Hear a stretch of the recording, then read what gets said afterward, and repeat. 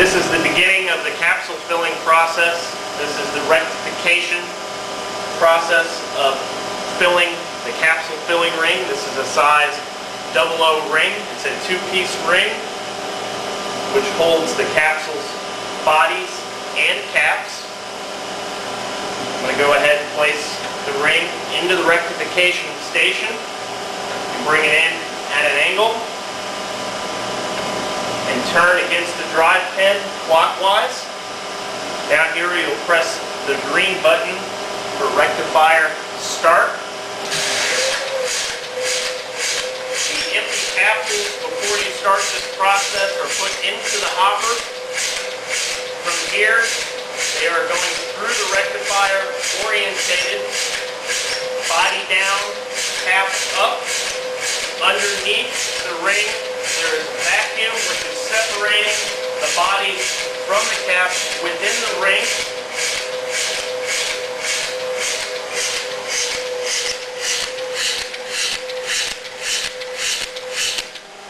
And now we have a size 00 ring filled with empty capsules. And this is the rectification. Now we're ready for our next step, which should be the over-encapsulation stage of this process. You will take the rectified capsules out of the rectifier. You will take the caps off the bodies on the two-piece ring. You will set the caps on the easel. You'll bring the bodies over to the over-encapsulation area.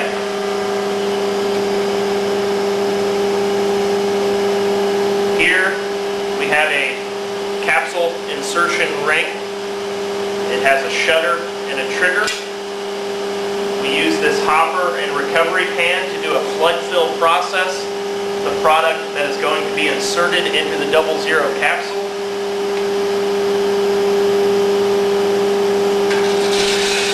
This is the flood fill.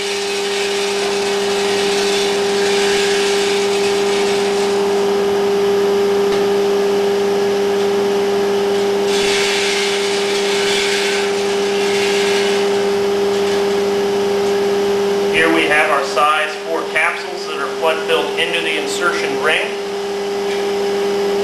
Now we'll take the insertion ring and place it over the body ring.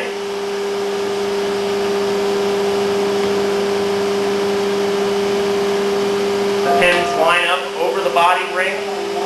You'll press this trigger, which is a shutter system. Will drop the size 4 capsule into the double zero body.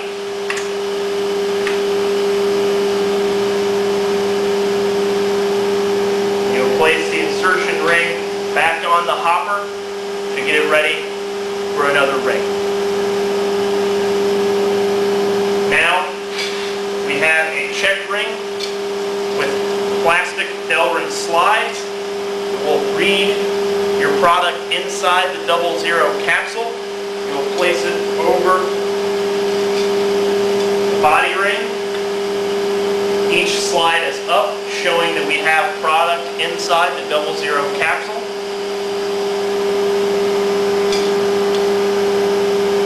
That is how we do the flood fill. Now we are finished with the over-encapsulation part of putting the size 4 capsule into the double zero capsule body. Now we are ready to do the liquid backfill on the machine. You'll place the body ring over the pin onto the turntable. Two green buttons you will press in and hold until the pump starts to move.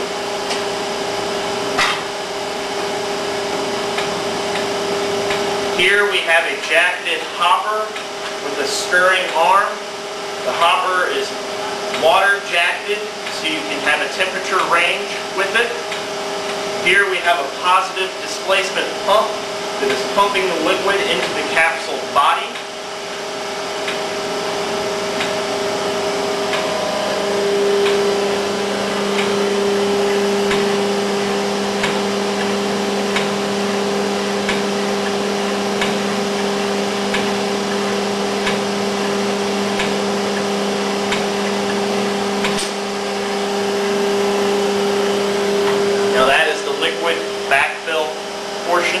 of the over encapsulation.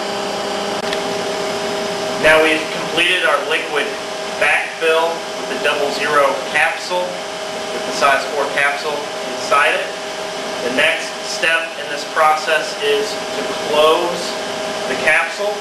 You'll take the body ring off of the turntable. Now we'll grab the cap ring off of the easel. We will line up the cap ring to the body ring with the pins underneath.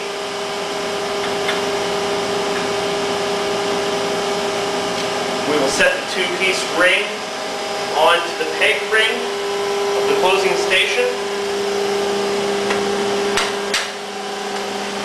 Turn the wing nut onto the ring. Slide in the drawer. It catches a sensor which brings up the pins pneumatically and joins the caps to the bodies. Then you turn the ring over.